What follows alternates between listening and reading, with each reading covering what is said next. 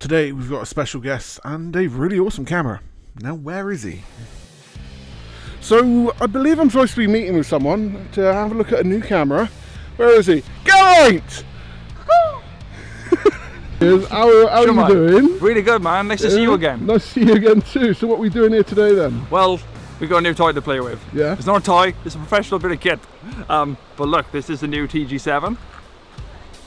This is an amazing camera. If- It's really fun to use. I'm really, really enthused about using it actually. So what are the key aspects of this camera that you particularly enjoy? Well, it's submergible. I mean, that's one really cool thing about it, isn't it?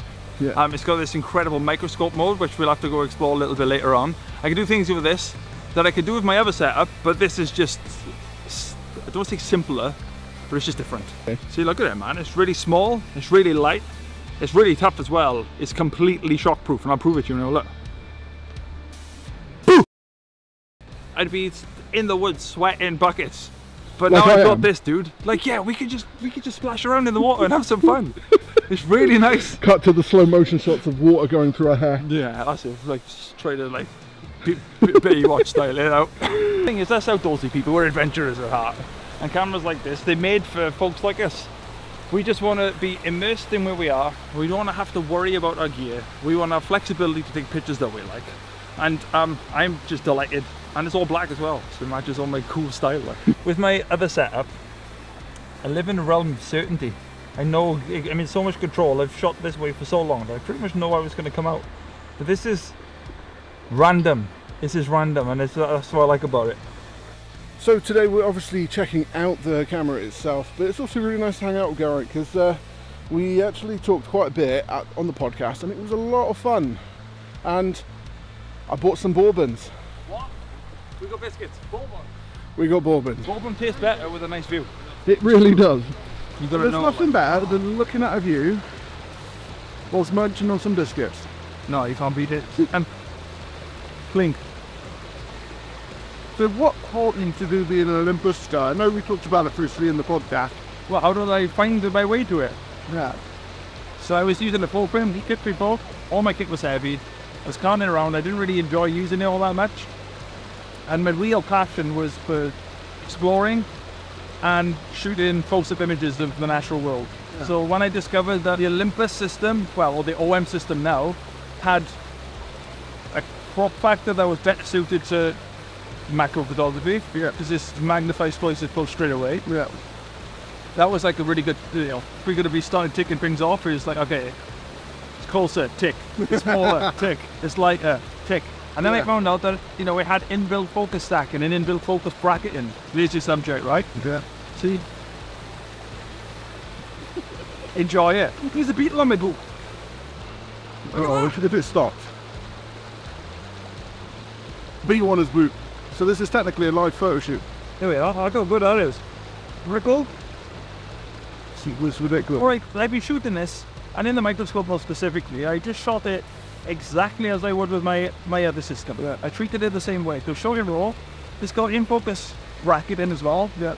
So you can gain depth of field with it. You can shoot handheld focus brackets of two millimeter subjects without coming into the front. I mm-hmm. can't do that on my so No. but at the same time, without even having to change the lens, I can shoot underwater scenes, I could shoot nature, Yeah. I can take this with me absolutely everywhere I go. And I record video and stuff as well. So this is going to be my, I think, my full-time travel companion. I'm going to take it everywhere with it. Awesome. So speaking about doing it in the water, you can't necessarily do it you just had your tattoo. I've just I'm gonna jump in and get a photo. that you're do it, you? I'm totally gonna do it. When you said it, I was was gonna do it. So it's back to work now, and I'm gonna go in, get soaking wet, and get a shot with the TG7. Gonna have a little bit of fun, basically. Geraint, I got this. you got this. I promise we're recording. Okay. Oh my god, this is cold. You give it a sec, man. You got to climatize. We should probably talk about specs. At this moment, it's a 4K camera and it's got an f2 to f4.9 lens on it, so it's got a zoom on there. But like uh, Geraint was saying, it does do uh, microscopic mode, and it's an all-around great camera. And look at this, it's waterproof. At least I hope it is.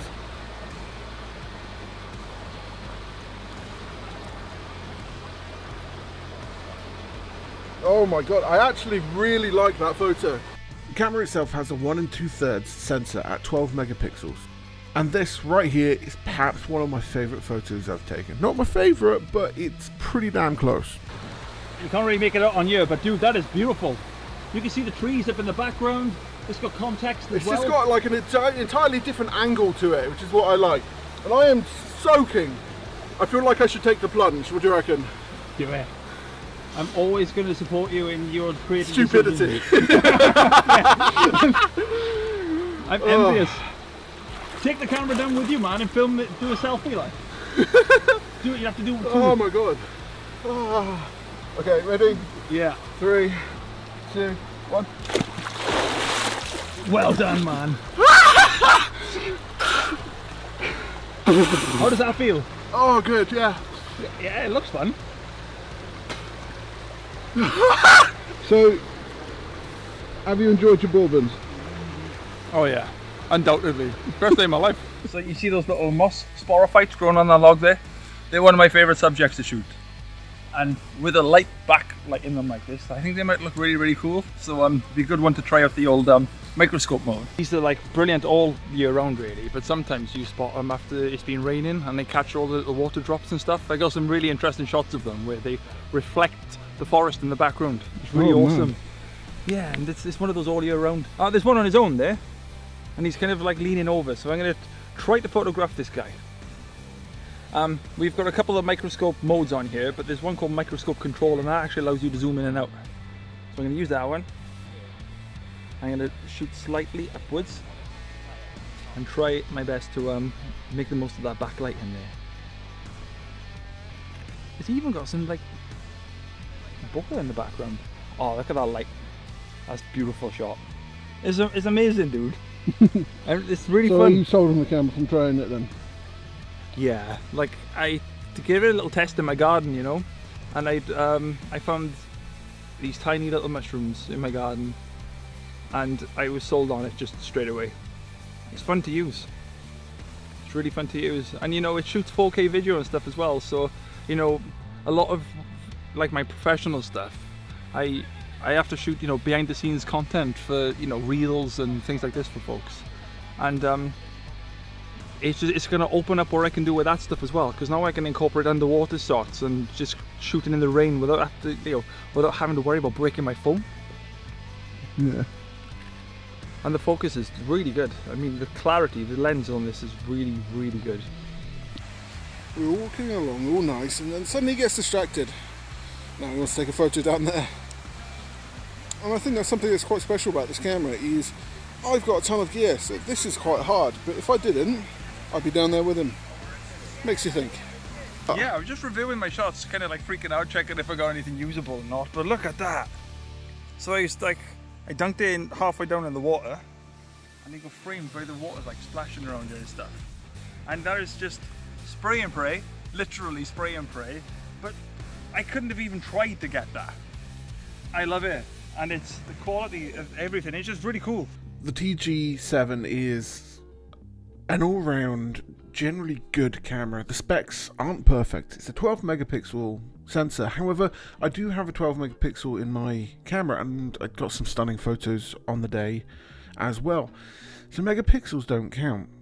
I think what counts with cameras is the experience and this is what the TG7 does well. It unapologetically makes you a part of nature and gets you to experience it in a different way. Being able to be in the water doing slightly more precarious things. You can do so much more with a camera like this. And sometimes I think it's worth thinking about just taking a camera into nature. And, well, I'll let Geraint explain this better. I'm just gonna enjoy watching this dragonfly flying around, and it is such an honor because it just literally came right up to my face just then. Looked me in the eyes, essentially, and I can't get close enough to take a shot. So why even ruin the moment and try? It's about being in nature and observing, and just taking memories. I think that's something the TG uh, 7 is actually good for. It allows you to step back, minimal gear, and just enjoy. Yeah, I mean, look at this. He's literally right next to me. That's amazing. But I also know that these dragonflies are super territorial. And he's going to come back tomorrow. I bet that that's amazing then. to see that? He's, he, I swear he's smiling.